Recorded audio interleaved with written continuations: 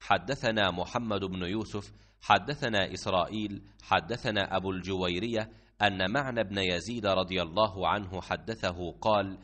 بايعت رسول الله صلى الله عليه وسلم أنا وأبي وجدي وخطب علي فأنكحني وخاصمت إليه كان أبي يزيد أخرج دنانير يتصدق بها فوضعها عند رجل في المسجد فجئت فأخذتها فأتيته بها فقال والله ما إياك أردت. فخاصمته إلى رسول الله صلى الله عليه وسلم فقال لك ما نويت يا يزيد ولك ما أخذت يا معن.